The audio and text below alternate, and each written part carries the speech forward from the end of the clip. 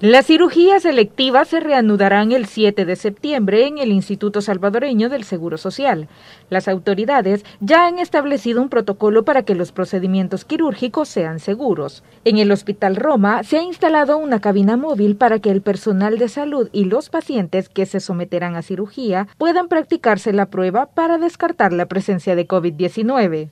Ya el día 7 de septiembre de manera oficial iniciamos eh, todas las cirugías que teníamos pendientes de una manera gradual y segura y con previo aviso. Estamos identificando los casos más necesarios y más urgentes para su reinicio. Debido a la pandemia, las cirugías se suspendieron y solo en el Hospital Roma se habilitarán seis quirófanos. En los próximos días, las especialidades de ortopedia, urología, cirugía general, oncología clínica y otras retomarán labores. Se empezarán con cirugías ortopédicas el día 2 eh, para posteriormente reabrir la mayoría de especialidades del Hospital Roma el día 7.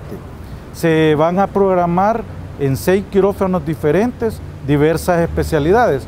El aislamiento previo a los procedimientos también será necesario para prevenir más contagios al interior de los hospitales. Gradualmente se irán habilitando otros servicios que de forma preventiva se suspendieron. Tatiana Funes, Noticiero Hechos.